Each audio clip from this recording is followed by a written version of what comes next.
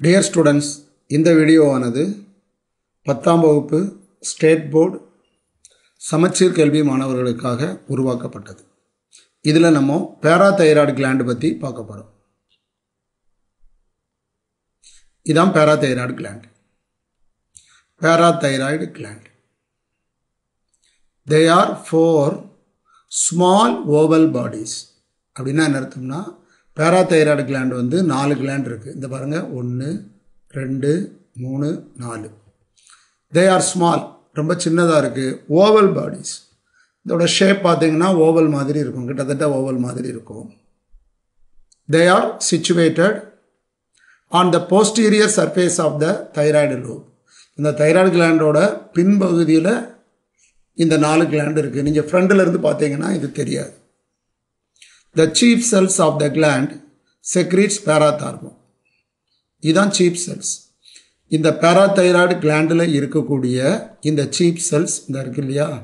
இது ஒரு ஹார்மோனை வெளியிடுது. அந்த ஹார்மோனுக்கு பேர் பேராதார்மோன் அடுத்த நம்ம பார்க்க போகிறது ஃபங்க்ஷன்ஸ் ஆஃப் பேராதார்மோன் இந்த பேராதார்மோன் ரெகுலேட்ஸ் ஒழுங்குபடுத்துது.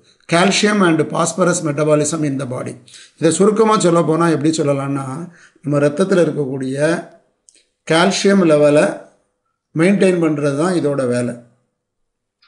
இந்த parathormone regulates calcium and phosphorus metabolism இந்த பாடி நம்ம ரத்தத்தில் உள்ள கால்சியம் லெவலை மெயின்டைன் பண்ணுறது தான் இதோட வேலை.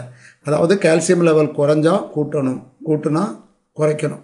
எப்படி குறைக்குதுன்னா they act on bone kidney and intestine to maintain the blood calcium levels இப்போ வந்து நம்ம சாப்பிட்றோம் இல்லையா? அந்த சாப்பாட்டில் இருக்கக்கூடிய கால்சியம் பூரா இண்டஸ்டைனில் உள்ள வில்லையினால் அப்சர்வ் ஆகி பிளட் ஸ்ட்ரீமில் கலந்துரும். அது நேராக கால்சியம் பாஸ்பேட் ஆகும் அதை கால்சியம் பாஸ்பேட்டாக அந்த போனில் ஸ்டோர் பண்ணும். இப்போ நம்ம பிளட்டில் கால்சியம் லெவல் குறைஞ்சிதுன்னா இந்த போனில் உள்ள கால்சியம் பழையபடி பிளட்டுக்கு வந்துடும் ஸோ போனில் கால்சியத்தை ஸ்டோர் பண்ணவும் செய்யும் அதிலிருந்து ரிலீஸ் பண்ணவும் செய்யும்.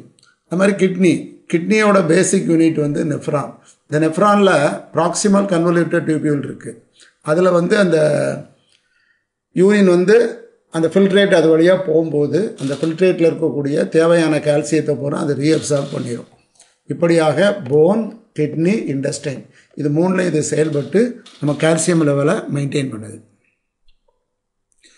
பேராதைராய்டு டிஸ்ஃபங்க்ஷன் இப்போ சப்போஸ் நம்ம வந்து பேராதைராய்டு கிளாண்டை நம்ம உடம்புலேருந்து ரிமூவ் பண்ணிட்டோம்னு வச்சுக்கோங்களேன். அப்போ அதிலிருந்து வரக்கூடிய பேராத்தார்மோன் ஹார்மோன் வந்து குறைஞ்சு போயிடும் அதனால் என்ன ஏற்படும்னா உங்களுக்கு வந்து டெட்டானி அப்படின்னு ஒரு நோய் ஏற்படும். இது ஒரு மார்க் கேள்வியில் கேட்பாங்க.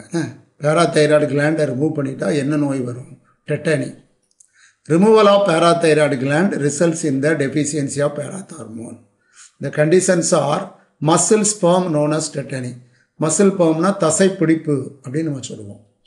அதாவது தசைப்பிடிப்பு ஏற்படும். அதுக்கு டெட்டனின்னு பேர். அதாவது சஸ்டைன்டு கான்ட்ராக்ஷன் ஆஃப் மசில்ஸ் சஸ்டைன்டுனா கண்டினியூஸ் கான்ஸ்டன்ட் அப்படின்னு அர்த்தம். கான்ட்ராக்ஷன்னா சுருங்குறது.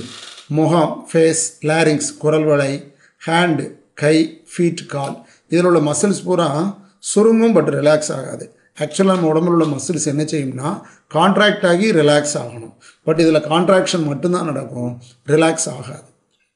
Painful cramps of the limbs muscles காலில் உள்ள மசில்ஸ் பூரா அப்படி தசைப்பிடிப்பு மாதிரி இருந்துடும் அவங்களால காலை அசைக்கவே முடியாது. இது நீங்கள் இந்த கிரிக்கெட் பிளேயர்ஸ் வந்து நீங்கள் பார்க்கலாம். சில சமயம் பவுலர் ஓடியாந்து போடும்போது அந்த கை அப்படி நின்றுடும் அங்கே முன்னாலையும் போகாது பின்னாலையும் போகாது. இந்த கிரிக்கெட் பிளேயர்ஸ் அங்கிட்ட இங்கிட்டு ஓடும்போது பேட்ஸ்மேன் ஓடும்போது கால் பிடிப்புனால அப்படி உட்காந்துருவாங்க அந்த நீங்கள் ஸ்ட்ரெச்சர் வச்சுட்டு தான் தூக்கிட்டு போகணும். ஸோ இந்த மாதிரி சமயத்தில் என்ன செய்யலாம்? ஏற்படலாம். பட் அது வந்து பேராதைராய்டு டிஸ்ஃபங்க்ஷன் கிடையாது. நான் உங்களுக்கு இந்த பெயின்ஃபுல் கிராம்ஸ் ஆஃப் லிம்ஸுக்கு எக்ஸாம்பிளாக சொன்னேன். இவ்வளவு தான் நீங்கள் பேராதைராய்டு வச்சு படிக்க வேண்டியது. Please subscribe our channel Sivasakthi Annamalai thank you for வாட்சிங்